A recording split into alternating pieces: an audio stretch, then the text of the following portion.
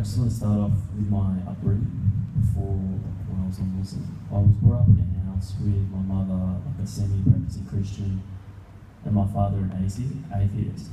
So with that, obviously, we were. I've got four sisters and my brother, my god mummy. Looking back now, it was very like I was very confused. Like, what moral should I, you know, go to church and become Christian or go down the path my father's gone down, science and stuff. I went to a, I went to prim, all the primary schools and high schools I went to, they were all um, Catholic schools. So I started off at St Francis Xavier in Ballarat as a Catholic school. And then I went to, I moved to an all boys Catholic, um, for high school, I moved to an all boys Catholic school. There we had, within the curriculum, um, we had to study the Bible, you know, all the stories and things like that. Um, growing up too, I was also taken to Sunday school. And I sort of found myself, I wasn't really convinced with Christianity, the way it was brought forward to me, the way, um, the contradictions I would see reading the Bible. You know, you, you read the first 20 pages and you definitely see like 50 contradictions in there, things that don't make sense. Anyway, I became, after year eight, I got kicked out of this all boys Catholic school due to bad behaviour. I was very unhappy, I was drinking, I was on drugs, I was on pills, like speed, any drug name it, I took it. With that came a lot of de- um, depression and anxiety. Um, I started, my parents started taking me to psychiatrists, psychologists. I saw lots of them. Um, they cost they costed my parents a lot of money. They trialed me on all sorts of prescription drugs. None of it had an effect on me. If not, it just made me worse. Um, the relationships that I had with people were. I had no moral code. Like I lived there off no, no principles or no morals. So I was very horrible to people. I wasn't. I couldn't maintain really good friendships and things like that. I had friends, but yeah, they weren't good friends. Um, I was going out. I was going out clubbing. I was doing. I was gambling as well. Was, you know, stealing cars. I went to, to, into the trouble with the police a lot. And then, as I said, you know, horrible to my family, disrespectful and no manners. I, you know, to sum that all up, I was lost. Um, I was very, very unhappy. Anyway, when and through this time, I went through a lot of different suicide attempts as well. Like I've tried over, I reckon I've tried over 20 times to kill myself. One stage I was in hospital, I was in intensive care for two weeks, hooked up to a life support machine um, from taking a, um, an overdose of prescription pills that doctors had given me to help me. And I tried to hang, hang myself. When I was 15, I, put a, I grew up on a farm. I put a, so we had hunting rifles there, I put a 22 to my head. Safety was 22 is a, you know, safety off. Anyone who knows anything about guns. Um, and I was laying on my bed anyway, I was 15, sort of how I'm standing. I was there, I, I took all the guns out of the gun safe, so I had the shotgun, all the rifles and stuff, I loaded them all up and I put them all onto my bed. Um, and yeah, I was just laying there and eventually my old man came and saw the gun and chased me around the house with it. And, you know, grabbing it off me after that. Anyway, after, with the depression and anxiety and stuff like that, this is where I began to start searching um, for you know the meaning of life. Like I started going to churches and things like that. I remember I was with Tyler at the time when I worked in this Reborn Christian guy. This guy was absolutely crazy. He said, "Come to church." I'm like, "All right." I went to this Reborn Christian church, subhanAllah, this place. I, I reckon the people they're all possessed by jinns. They are just nuts. Like, you know, if you want to go for a laugh, brothers, go down to Sunday, go find Reborn Christian Church and go listen to them. Um, so I went there three times and I sort of sat at the back and seen how they, you know, worship and stuff like that. And I'm like, no, this is, this can't be the truth. Just, it can't be. This is just a joke. This is a circus. So I walked out and I was sort of gave up on religion for a while. Um, I started, I moved, I remember I moved to Greenvale, mid northern side, like in the northern suburbs, first time we lived in the northern suburbs, at the start of last year.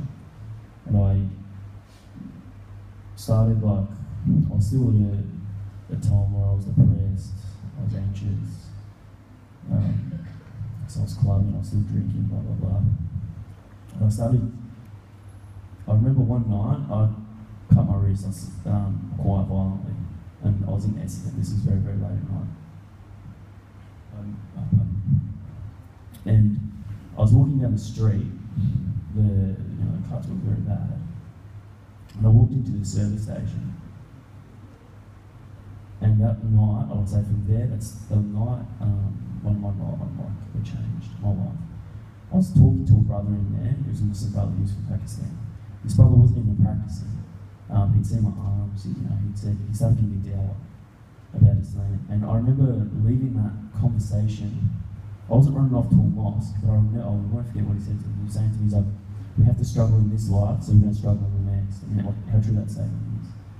So I left that the, the service station feeling pretty good about it, but not running off to a mosque anyway. A week later, I ended up in hospital for another suicide attempt. I met a Lebanese brother in there, and I remember talking to him. I had more questions about the same that's because I'm just, you know, big scared.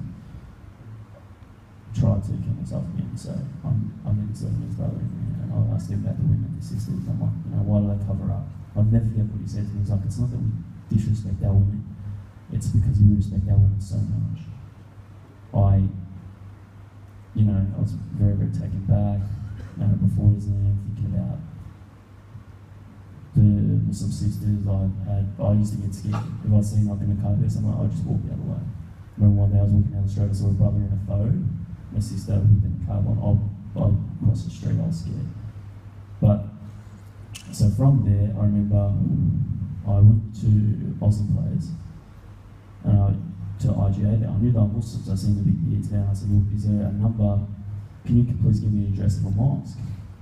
Um, there's a brother in there, blah, blah, blah. They all started speaking Arabic around me. Anyway, sister came up to me and she said, look, I'll give you a number um, and I'll get someone to call you. So she gave, she, sorry, she said, I'll get someone to call you. And my reward I, from there, I remember she came to pick me up, she's older sister, with her two brothers. Um, and then they took me to HIYC. Yeah. I remember the I had a six pack in the fridge, place I was living at at the time. So I came here. I had walked into the mosque with the two brothers. We sat down. Um, I was talking to some brothers here for about three hours. Some just throwing all sorts of questions at them. Um, I ruled them to them. And I remember, anyway, after that, that they took me, they showed me around the um, centre and stuff like that, and they took me here. It was right over there. They said, you know, to become Muslim? I said, yeah. I was, like, I was convinced. I can't, the conversations and stuff we had, I can't remember clearly. So no points of. So I took my shahada right over there, and yeah, alhamdulillah, my life from there, ups and downs, but it's been, I would say, like, from when I when you, know, when I think about this. So yeah, like exactly darkness to light. But there I was in a situation trying to kill myself, trying like going through like really crazy things. Being sent to like psychiatrists. My parents, when I was younger, was like they were sending me to psychiatrists cost like over like two hundred dollars a session see these people for an hour of their time. Like one psychiatrist cost five hundred dollars to um, and it did nothing. So from there, my life it started it started changing heaps. You know, I remember from there I uh, started hanging out at HIYC a lot um, and to start gain knowledge and things like that. From I went, I remember that after that time, I went back home and I poured out the six pack. And said I never want to drink again. From there, I I was walking around with this just this beautiful peace that I never ever felt before. I was so lost, I was so upset, um, I had depression, anxiety, and you know, Allah just giving me this this peace. I can't I can't describe it to you. Okay, there's no words to describe this. But if you told me my whole family had died, but that peace wouldn't have affected me because that's how how beautiful it was. I was just so calm, so chilled out, you know, very rational. I was talking to my mother the other day, and I said to her, I called her up and I said, look, they're not Muslims. Um, but I said to her, look, honestly, have you seen any changes in me? If there's been changes, you know, don't say it for the sake of anything, just changes positive or negative, tell me. Um, and she said, there's been no negative changes. She said, you've become, uh, keeping in mind that I was horrible to my parents before Islam. My, I changed. She, this is what she said. She said, you become, it seems like you're more fulfilled. You're more respectful. You're more rational. You're more stable. You're um, a lot better to us. And at the start, there was lots of arguing. She couldn't see this. We used to have it out all the time, my whole family. And then slowly, but she, you know, she knew a minute. And then I was surprised because I wasn't thinking they're choosing to say nothing at all. but you haven't become worse, but you know, Islam doesn't change the world. But she said this, and alhamdulillah.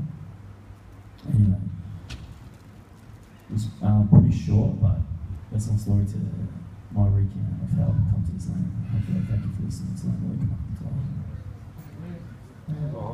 Assalamu alaikum.